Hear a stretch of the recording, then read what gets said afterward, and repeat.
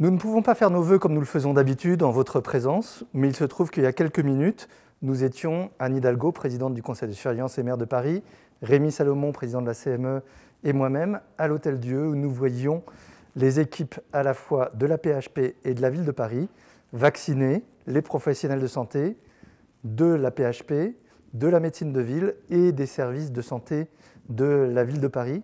Donc euh, nous gardons le même esprit en formulant nos vœux aujourd'hui. Ces vœux vont être très simples et très sincères. Le premier vœu, c'est celui qui d'habitude est très convenu, très banal, c'est bonne santé pour vous, pour vos proches.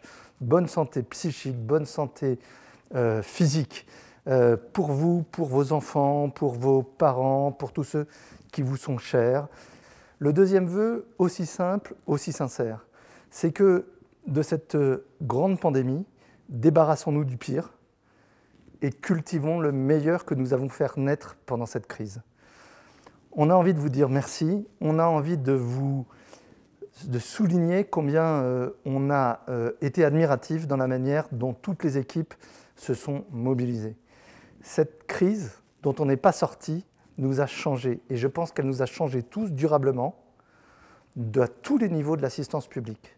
Elle nous a changé pour qu'on ait davantage conscience de ce qu'est l'esprit d'équipe.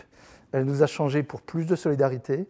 Elle nous a changé pour trouver plus de solutions, plus d'innovations. Elle nous a changé pour laisser plus de place à l'initiative au sein des équipes.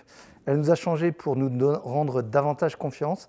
Et le vœu de cette année, c'est que ça puisse continuer, qu'on puisse, dans le même esprit, travailler pour améliorer votre quotidien, pour que vous ayez davantage de reconnaissance, davantage de rémunération grâce à l'accord que nous avons conclu avec le corps médical et avec des représentants de, euh, l'ensemble des, équipes, et que chacun trouve sa place au sein d'une équipe à l'assistance publique.